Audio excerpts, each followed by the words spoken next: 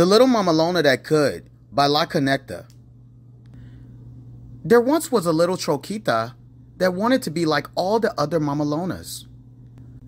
The little Troquita would dream of having big rims and a nice paint job with a lift. The little Troquita was always being made fun of.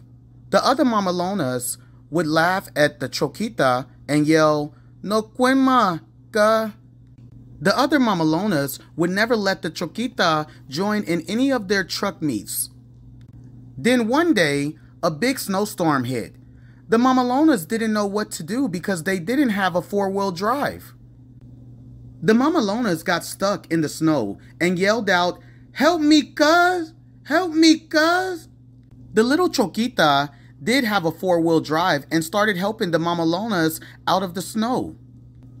One by one, the little Troquita pulled the mamalonas to safety. The little Troquita became a hero, and all of the other mamalonas thanked the little Troquita for what he did. Thank you, cuz.